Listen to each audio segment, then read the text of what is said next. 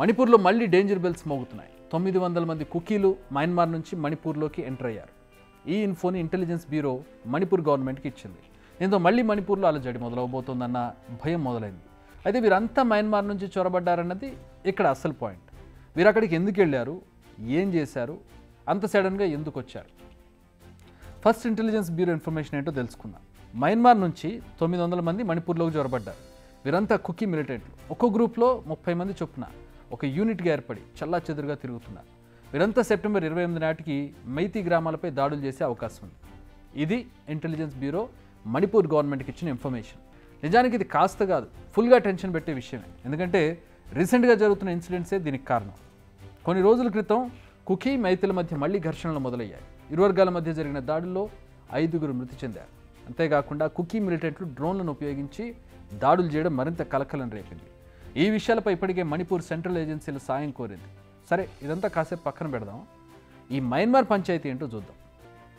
మైతి కుక్కీల పంచాయతీకి end card పడకూడదన్నది కొన్ని వర్గాల ఆలోచన. ఎందుకంటే కుక్కీలు నివసించే కొండ ప్రాంతాల్లో డ్రగ్స్ పండించడం ఆనవాయితీగా వస్తోంది. ఈ డ్రగ్స్ మొదట మయన్మార్కు అటు నుంచి ఇతర దేశాలు ఎక్స్పోర్ట్ అవుతున్నాయి ఈ ప్రాంతం నుండే డ్రగ్ లాట్స్ ఈ వివాదానికి ఆద్యం పోస్తూనే ఉన్నారు. కుకీలకు కావాల్సిన ఆయుధాలు టెక్నాలజీని అందిస్తున్నారు. ఇదంతా మయన్మార్ కేంద్రంగానే జరుగుతుంది. అందుకే ఇప్పుడు కుక్కీలకు కమాండో తరహా ట్రైనింగ్ కూడా ఇస్తున్నారు. గిరిల్లా వార్ఫేర్లో కూడా వారికి ట్రైనింగ్ అందుతోంది. సేమ్ ఇప్పుడు ఇలా ట్రైన్ అయిన కుకీ మిలిటెంట్లే మణిపూర్లోకి ఎంటర్ అయ్యారన్నది ఒక వాదన. కుకీ మిలిటెంట్లు దాడులు స్టైల్ను మార్చేశారు. డ్రోన్లను ఉపయోగిస్తున్నారు.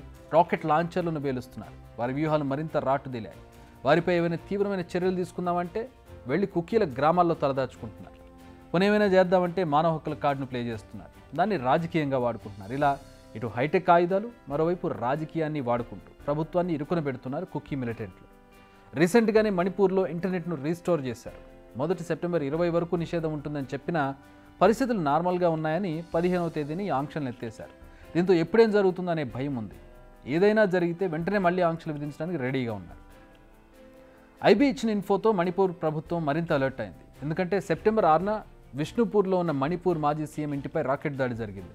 ఆ తర్వాతి రోజే అంటే సెప్టెంబర్ ఏడున జిరిబామ్లో జరిగిన హింసలో ఆరుగురు చనిపోయారు. సెప్టెంబర్ ఎనిమిదిన ఇంఫాల్ వెస్ట్లో మాజీ సైనికుడిని చంపేశారు.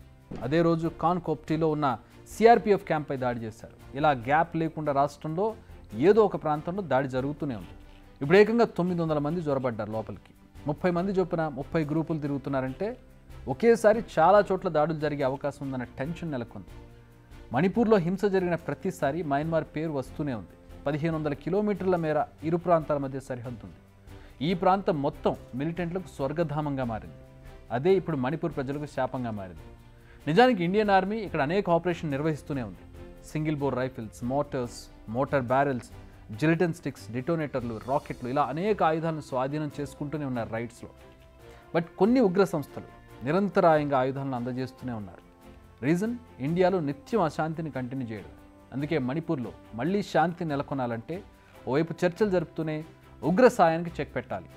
అప్పటి వరకు మణిపూర్ ఇలా మండుతూనే ఉంటుంది. బిగ్ టీవీ అవుట్లుక్ కథనాలు నచ్చితే వెంటనే బిగ్ టీవీ ఛానల్ను సబ్స్క్రైబ్ చేయండి.